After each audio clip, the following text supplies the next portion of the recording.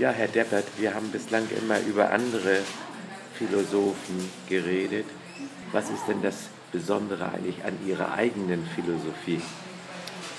Das ist eine durchaus sehr schwierige Frage für mich, denn das eigene, ja, was ist denn das? Das ist ja auch etwas, was ich nicht selber gemacht habe, sondern in mir vorfinde. Und äh, da ist es tatsächlich so, dass ich in mir etwas vorgefunden habe und dann nur noch bezeichnet habe.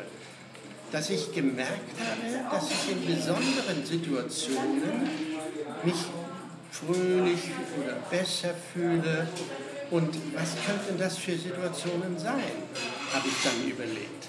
Und dann hat sich herausgestellt, das kann man ganz allgemein bezeichnen, das sind Situationen, in denen ich ein Gespür in mir bemerke für Zusammenhänge, die ich vorher noch nicht so gefühlt und gesehen habe. Und dann habe ich das einfach Zusammenhangserlebnisse genannt. Und das scheint sich sehr, sehr gut anwenden zu lassen auf das ganze Leben.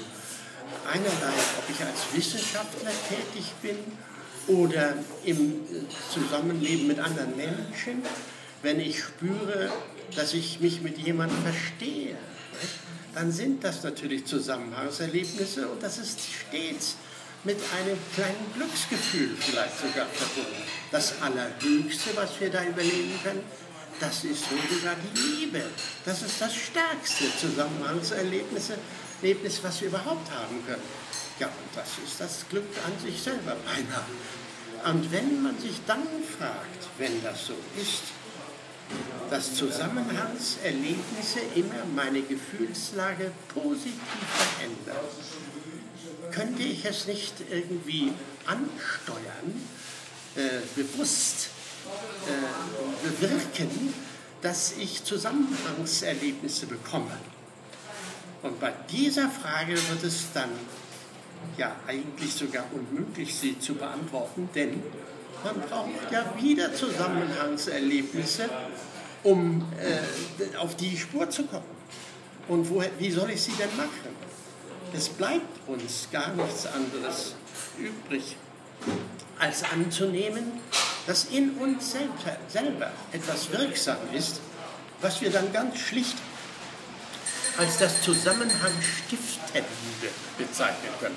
Es gibt also in der Welt, in mir und in allem, was ist, ein Zusammenhangsstiftendes. Nicht? Wenn ich diesen Löffel hier nehme, dann hängt das offenbar alles zusammen. Ja, ich es nicht, aber es hängt zusammen. Und dies auch, ja, und überall. Äh, und es gibt in der Welt etwas Zusammenhangsstiftendes und auch in mir. Bloß das Eigenwillige ist daran, dass alle diese Zusammenhänge immer von besonderer Art ist. So wie es nicht einmal zwei gleiche Schneeflocken gibt. Die sind alle verschieden. Die Menschen sind verschieden und jede Blume ist verschieden, wenn man jedenfalls genau hinguckt. Dieses Zusammenhangstiftende ist zugleich das man könnte beinahe sagen, das Subjektivistische, was alles, was ist, eine Besonderheit, äh, an einer Besonderheit schafft. Und wenn man dann noch ein klein bisschen tiefer nachdenkt über das, äh, die, die Streitigkeiten, die die Religionen haben, so kommt man doch schnell darauf, dass alle Religionen ja nichts weiter wollen, als versuchen, herauszufinden oder mit Namen zu versehen, wer oder was die Zusammenhänge in der Welt schafft. Und dann könnten wir es schlicht das Göttliche nennen. Das Göttliche ist es, was die Zusammenhänge schafft. Dazu brauchen wir aber keine Person.